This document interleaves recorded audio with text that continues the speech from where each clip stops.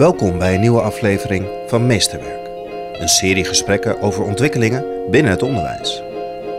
Dus als je iets wil weten, dan kan je het daar vinden. Je hoeft niet naar mij toe om te vragen of je het mag weten. Dus de hele kennis is machtsstructuur en dat soort dingen moeten eruit. Rigoureus. Vandaag. Want dat houdt een hiërarchie in stand, waardoor mensen niet durven te vragen, niet durven te, te, te, te zoeken naar verbinding om het, om, het, om het fout te kunnen doen. Dit is Meesterwerk. Ik ben vanavond op de opening van het LEF, het Leiden Education Field Lab. Het LEF is van en voor het Leidse onderwijs. Een netwerk met een fysieke locatie waar onderwijsprofessionals met passie en een actieve rol binnen het onderwijs samen kunnen innoveren en onderzoeken. Een van de sprekers vanavond is Heiko van Velzen. De titel van zijn workshop is Het breken van paradigma's. Yes, hij staat aan. Ja, Welkom Mooi. Heiko. dank je. We zijn op het LEF in Leiden. En je hebt net een opstelling gemaakt. Er komen straks eh, bezoekers. Ja. Jij gaat met hen aan de slag. Wat is de kern van de boodschap wat je met hen gaat delen? Ja, nou ja, die is op zich vind ik wel vrij makkelijk, maar wel heel moeilijk uit te voeren. Eh, vanuit maximale onzekerheid eh, de toekomst aangaan. Wat bedoel je vanuit maximale onzekerheid? Nou, wat ik belangrijk vind in het onderwijs is, we weten niet waar het heen gaat. We hebben geen idee hoe het eruit ziet. Heb ik niet eens over leraartekort of zo, maar meer eh, de techniek gaat zo snel. De ontwikkelingen gaan zo snel. Ik heb geen idee hoe de klas er over 15, eh 15 jaar uitziet. En, en dat maakt mij heel onzeker. Maar als ik nou in staat ben om die onzekerheid te accepteren en eigenlijk om te zetten tot een kracht, van, ik weet het niet. En dat is oké. En dat doe je vanuit vertrouwen, dan denk ik dat het onderwijs een stukje sterker wordt. En, en dat is wat ik de directeuren die ik lesgeef, maar ook de kinderen die ik les gaf en de collega's met wie ik werk mee probeer te geven. Het is oké dat je het niet weet. En zet dat om naar een kracht. En dat je daardoor open staat als je het niet weet, in plaats van afsluit en je kopje naar beneden doet en wegloopt. En als je van een afstandje kijkt, hè, dan, dan klinkt dat vrij makkelijk. Ja, Je hebt het op de Einstein-school natuurlijk gedaan. ja. Ehm, hoe help je hun? Want de eerste reactie van een leraar is heel vaak: ja, waar moet ik eigenlijk aan voldoen? Hoe verantwoord ik me? Die willen het goed doen vaak ook. Ja.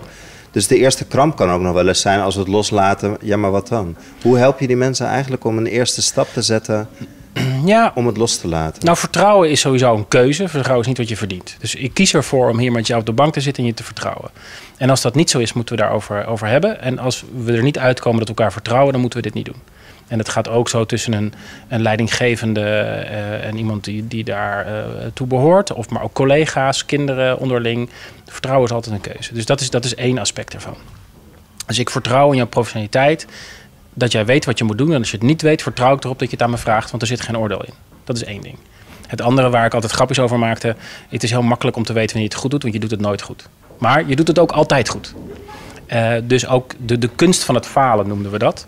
Dus ik, ik hoop erop dat de leerkrachten of de mensen met wie ik samenwerk zoveel mogelijk falen. Fouten maken, fouten maken, fouten maken, fouten maken. En daarna, eh, als het echt mis is gegaan, repareren.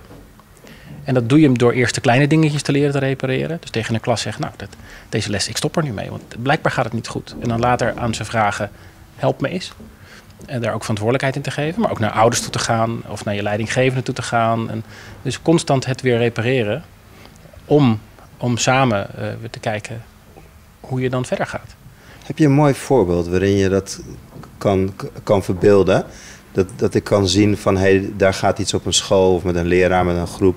Er gaat iets mis, maar je steekt ook vervolgens je hand uit en je zegt van, hé, hey, sta weer op en Ja, dat zit op, op verschillende niveaus zit dat. Dus ehm, het, het eerste heeft te maken met hoe je je... eh, dus, dus vanuit het perspectief van, van, van een directeur kan je kijken naar hoe organiseer je je school en hoe geef je leiding. En dat, is, dat is één stuk. Vanuit het perspectief van een leerkracht is hoe creëer je een pedagogisch klimaat in je klas waarin veiligheid voorop staat. En, en dat gaat niet over een kanjekring of veetschame school of wat dan ook. Dat is nou, prima als je het doet, maar dat is volgens mij niet de essentie van een pedagogische relatie. Een pedagogische relatie is die vijf en een half uur lang of acht uur lang dat je met kinderen werkt. En dan is ook dat je... eh, nou ja, er werd op de, op de werd een jongen gepest. Heel heftig gepest. En we kwamen erachter. Nou, iedereen bij elkaar, iedereen op een grote hoop, de hele school bij elkaar. En de eerste vraag was, wie wist dit? Gewoon een open vraag, wie wist dit? En dan gingen vingers omhoog. Nou, toen zei ik, eh, oh kut. Dan is het probleem nog erger dan ik dacht. Want jullie wisten het wel en ik wist het niet. Hoe kan dit? maar zonder degene die, die pesten de schuld te geven. Dus met elkaar kijken, oké, maar wat is er nu nodig om verder te gaan? En welke stappen moeten we nu nemen om verder te gaan? Zodat een kind ook een fout kan maken. Want pesten is soms ook gewoon een fout. Niet doorhebben wat er aan de hand is. En dat degene die pest in staat is en de kans krijgt met hulp om te repareren, om weer terug in de groep te komen, om samen verder te gaan. Dat is vanuit de, pedagogische relatie fouten mogen maken. Ik denk als je je school organiseert uh, en je creëert echt ruimte voor fouten, dan moet je mensen ook hun gang laten gaan. En dan moet je ze ook fouten laten maken. Ook al zie jij het aankomen dat het misgaat, gewoon laat maar gebeuren. Laat, maar gebeuren. laat ze maar keihard tegen de muur aanklappen. En als ze dat dan doen, dan ga je ernaast staan, dan, dan raap je ze op en dan klop je samen je kleren af. En dan, dan zeg je, oké, nou, je, kan, je kan nu dit doen, je kan nu zus doen, je kan nu zo doen. Of als je zelf een beter idee hebt, dan doen we dat. Wat wil je doen? Hoe dan ook, ik steun je. Hoe dan ook. En uiteindelijk terugkijken, wat hebben we hiervan geleerd? Want je leert meer van het feit dat het misgaat dan wanneer het goed gaat. Dan gaan mensen ook echt hun nek uitsteken. En het grappige is, als je dat toelaat, dan zie je dat heel vaak, net voordat de mensen de muur raken, soms zit hun neus er tegenaan dat ze stoppen en denken: hm, is dit handig? En dan gaan ze hulp vragen of verder kijken, omdat er zoveel veiligheid is dat ze ook hulp mogen vragen. En daarin creëer je in je organisatie, wat ongelooflijk van belang is, dat, dat er dus geen kennis verborgen mag zijn. Dus als je iets wil weten, dan kan je het daar vinden. Je hoeft niet naar mij toe om te vragen of je het mag weten. Dus de hele kennis is machtsstructuur en dat soort dingen moeten eruit. Rigoureus. Vandaag. Want dat houdt een hiërarchie in stand, waardoor mensen niet durven te vragen, niet durven te, te, te, te zoeken naar verbinding om het, om, het, om het fout te kunnen doen.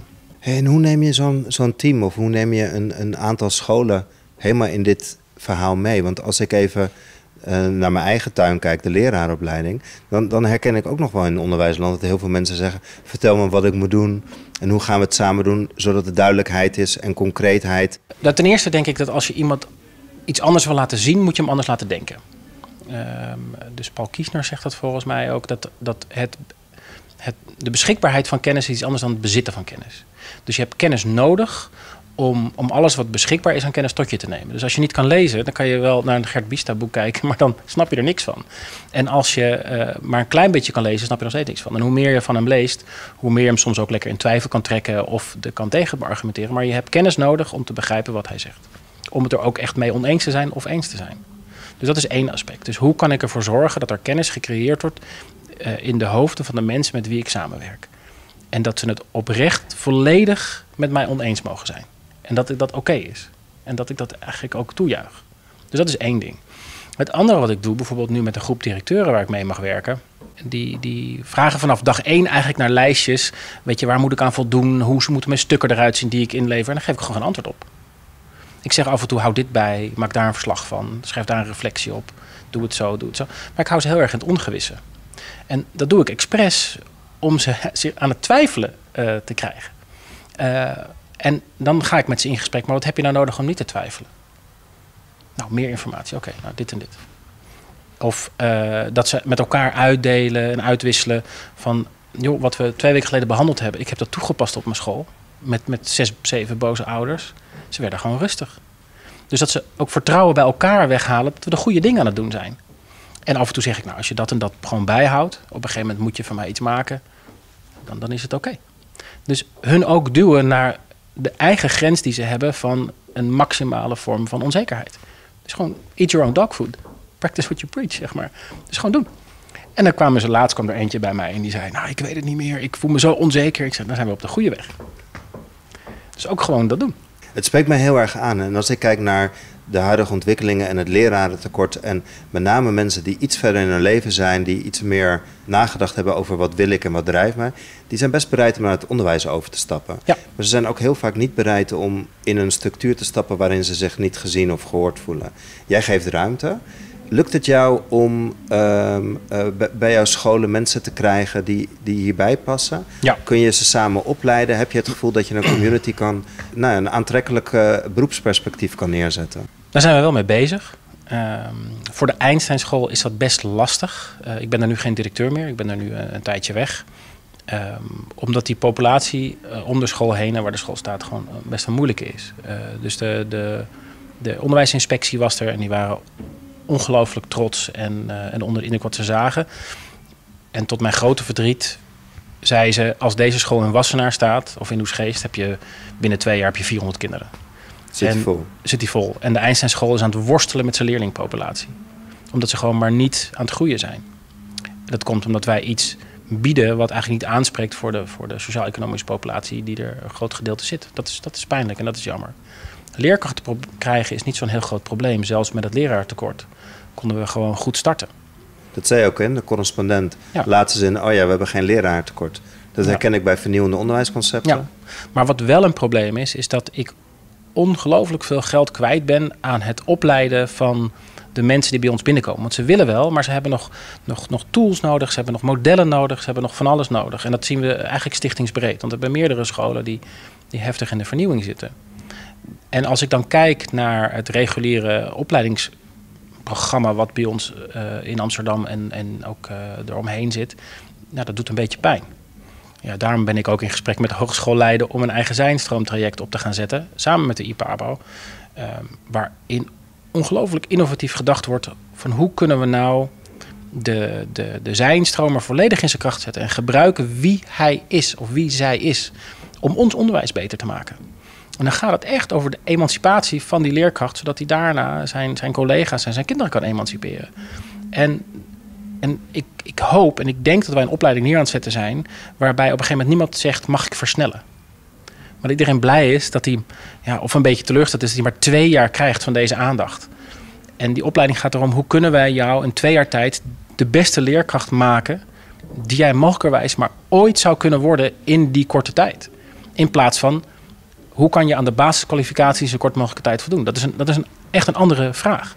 Dus er zit wetenschapsfilosofie in. Het gaat over, over, over, over grote denkers. Het gaat over, over, uh, over bang zijn, over niet weten en over niet durven. En dat zijn allemaal onderdelen die erin zitten. Je pedagogische opdracht. En, en ook de vraag, wat moet iemand zoals jij met iemand zoals ik in een wereld zoals deze? Wat moeten we nou met elkaar? Ja. Als je kijkt hoe het onderwijs daarvoor staat. Dus er zit wel. Uh, en die gaat hopelijk volgend jaar uh, september van start. Tenminste, hopelijk. Daar ga ik stiekem wel een heel klein beetje van uit. Ja, ja. ik hoor je ook wel. Ja. Hey, en, en hoe ga jij, in, want daar komen mensen op af, die, die gaan via die manier het onderwijs in. Ja. En ja. Um, in twee jaar ben je niet die volledige leraar. Nee. nee. Dus het gaat nog jaren duren en die mensen zijn hongerig en die gaan de komende jaren leren. Als, als ze dan leraar zijn, hoe, hoe, hoe zorg je dan binnen jouw bestuur, binnen jouw stichting, dat je die cultuur van doorleren weet nou, waar te borgen. Want ja, daar een van de dingen uh, die we daarop willen doen, uh, is dat um, de mensen die les gaan geven op die nieuwe Pabo zijn ook een groot gedeelte mensen die gewoon maandag weer voor de klas moeten of gisteren voor de klas stonden. Dus je moet voor de klas staan. Uh, wil je sommige vakken les mogen geven. Dus je krijgt ook een soort tweede arbeidsperspectief erop. Waardoor je ook moet verdiepen. Want om, om aan grote mensen les te geven, is iets anders dan aan kleine mensen lesgeven. Die stellen je ook andere vragen. Zeker als je zijnstromers hebt die een WO-opleiding of een HBO-opleiding al achter de rug hebben. Dan moet je, nou, die moet, je, moet, je, moet je even goed doorgeleerd en ingelezen zijn. Dan kan je niet, dan ga je echt voor, voor, voor gaas. Dat zorgt ervoor dat je als, als gemeenschap ook constant lerend blijft. En, en dat je ook die, die uitdaging met die mensen aan blijft gaan. Dat die hele organisatie lerend wordt of verder wordt. Als hij, want dat proberen we al te doen. En daarnaast ook een academie waar deze mensen les kunnen geven. Maar ook het gebruiken van, van de talenten van wat, wat iemand ja, in zijn vorige incarnatie gedaan heeft. Zeg maar. dat, als je de, de bestuurder van de AFM geweest bent en je gaat voor de klas, dan hoop ik dat die directeur ook zegt: kijk even mee met de begroting. Weet je wel, gewoon. Het is je vak. Weet je, dat, dat je dat ook echt, echt uh, in dienst stelt van het onderwijs. Ja, dat je echt uitgaat van de kracht en de talenten ja. die je hebt inzetten. Als ik over vijf jaar kom in Amsterdam-West, in de tuinsteden, wat, wat, wat, dan hoop, hoop je dan dat je bent? Uh, ik hoop dat ze me eruit gezet hebben dat ze me niet meer nodig hebben. Dat ik weer wat anders aan het doen ben. Uh, dat, dat is ook echt iets waar ik, waar ik in geloof. Dat je zelfregulerend kan werken. Dat je wel leiders nodig hebt in je organisatie, maar dat er verschillende fasen in zitten. Ik hoop dat je het onderwijs niet kan vergelijken met het onderwijs wat nu veel gegeven wordt. Dat er heel veel aandacht is voor kunst en dans en theater. dat taal gegeven wordt vanuit beleving en vanuit gevoel. Ehm, dat er nagedacht wordt over hoe het brein werkt. En dat we daar ons onderwijs op aangepast hebben. En dat er heel veel verschillende mensen rondlopen in de scholen. Dat uh, de schooltijd ook iets langer duurt. Dus niet tot vier uur wat ik bedoel, maar niet stoppen bij groep 8, maar verbonden echt aan het VO. Dat je echt gewoon een langere lijn hebt. Um, en vooral gelukkige, blije kinderen, leerkrachten die, die lachen en doorleren. En dat er veel ontspanning is. En dat de definitie van een leerkracht een andere is dan we nu hebben. En wat uh, vanuit even mijn perspectief voor het lerarenopleiden, wat, waar ga jij aan de poorten blijven rammelen de komende jaren om je echt hard voor te maken als het gaat om het opleiden van die leraar, wat we gezamenlijk gaan doen? Wat is je belangrijkste boodschap aan ons? Jemig, de belangrijkste boodschap aan jullie. Nou, ik denk dat als je kijkt naar de opbouw van, van hoe, een, hoe een mensen als groepen functioneren, dat we daar wat meer aandacht aan besteden. Dus we hebben het tegenwoordig vaak over zelfsturende teams en zelforganisatie. Nou, zelfsturende teams, stop ermee. Uh, het perfecte voorbeeld van een zelfsturend organisme, dat is de jungle of een prairie. Complete uh, stabiliteit. Nou, stabiliteit is volgens mij waar alles stopt. Um, zelforganisatie geloof ik wel heel erg in. En dat begint volgens mij bij zelfregulatie. Dus je mensen, of ze nou klein of groot zijn, in staat stelt om zichzelf te reguleren binnen veilige kaders. En die kunnen steeds verder opgerekt worden. Wat je dan krijgt, is dat mensen zichzelf kunnen motiveren. Want je mag zelf beslissingen maken. En dan raak je gemotiveerd. En op het moment dat je jezelf kan motiveren, dan kan je reflecteren. Oh, wacht, ik heb deze keuze gemaakt omdat ik dat en dat wilde. En zo heb ik het gedaan. En ik mag het fout doen, want dat vinden mensen oké. want daar leer ik van, want ik repareer het weer. En vanuit daar, als mensen die drie dingen kunnen, kunnen ze zichzelf organiseren. En als je jezelf vanuit dat perspectief kan organiseren, dan kan je jezelf ontplooien. En dan sta je nooit meer stil. Want dan is alles een uitdaging, is alles een stap. En dan denk je, wow, ik kan dit niet. Wow, ik durf dit niet. Ik ga het doen. Maar wat heb ik dan nodig om het te doen? Nou, dan bel ik jou en ik durf het niet. Wil je me, wat heb, en met twee of drie woorden zegt iemand: Oké, komt goed. En, en ik denk dat dat in de PABO's, maar ook eigenlijk in, in meer opleidingen, maar ook in klassen, uh, een definierend belang is om echt tot ontplooiing te komen. Mooi, Heiko. Ik voel me wat opgeladen. Er staat een hele grote groep mensen voor de deur te dringen. Ja. Die heel graag net zo geïnspireerd willen worden als ik. Dankjewel. Ja, graag gedaan. Dit gesprek met Heiko van Velzen is er eentje uit de serie Meesterwerk. Meer podcastafleveringen van Meesterwerk zijn te beluisteren via Spotify, iTunes, Soundcloud of kijk op janjabubeek.nl. Meer informatie over het LEF is te vinden op www.hetlef.nl.